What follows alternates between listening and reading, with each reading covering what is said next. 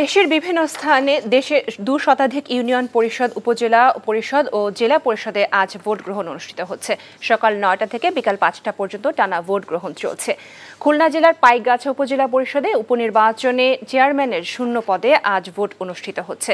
গত সতেরো জুলাই উপজেলা চেয়ারম্যান অ্যাডভোকেট গাজী মোহাম্মদ আলীর করোনা আক্রান্ত হয়ে মৃত্যু হলে এই পদটি শূন্য হয়।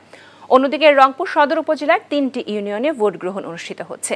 জেলা নির্বাচন অফিস সূত্রে জানা গেছে, রংপুর সদর উপজেলার হরিদেবপুর, চন্দনপাট ও সদ্য পুষ্কুরিনী ইউনিয়নে মেয়াদ শেষ হওয়ায় ভোট গ্রহণ হচ্ছে।